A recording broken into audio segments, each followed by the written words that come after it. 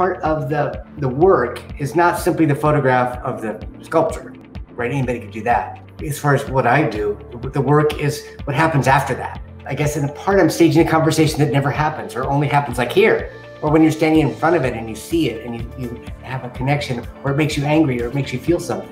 Then the work is happening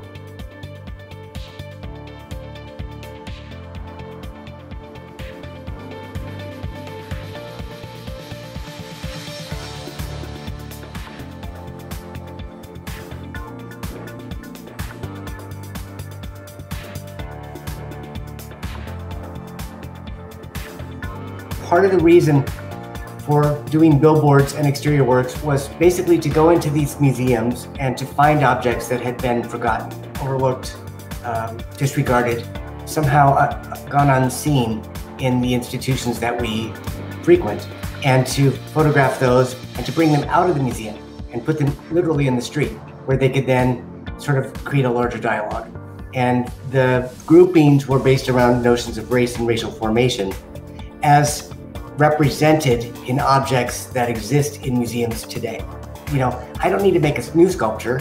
What can we do to give this sculpture a voice? What can we do to change the way people see these objects and, and to try to re-engage with them? These two are from the Getty Museum. There's basically a Italian Renaissance sculpture on the left and this uh, uh, Harwood image that is now believed to be a slave or ex-slave uh, from uh, England. They're both believed to be portraits, so they're not just generic types, they're actual people, and their names have been lost, right? So I, I put them together in, LA um, as a way of thinking about race and racial representation.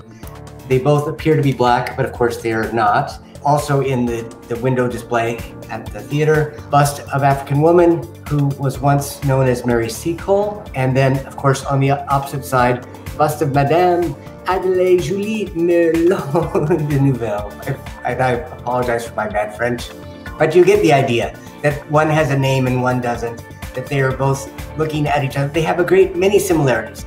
They have both little cute button noses and dimples and double chins and curly hair. There's so many things that are similar about them. Why do we see them as so different? And so I was trying to think again about this idea, the arbitrariness of race and, and the, the way that race influences the way we see one another, that there's actually no race here, right? These are two pieces of rock.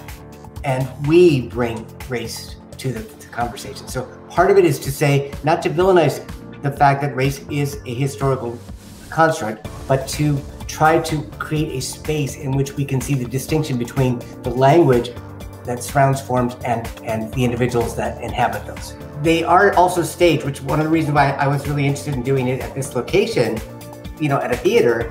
When you think about the theater, how you build a mood or how you create this, communicate this idea, you guys do that through the costume and the lighting, through the timing.